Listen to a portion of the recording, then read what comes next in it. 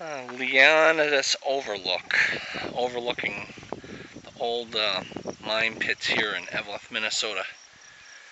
A really, really nice view.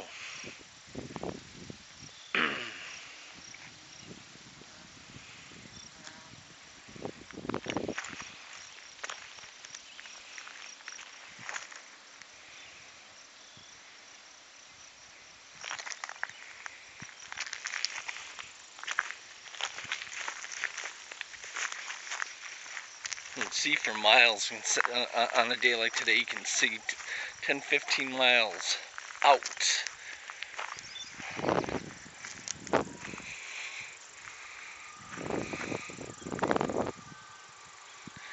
In fact, Eveleth Tack is here. It's an open pit mine here in northern Minnesota.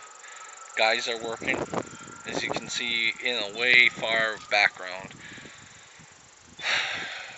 mine trucks here are just huge. I mean, they had take that little car and uh, squish it like a bug.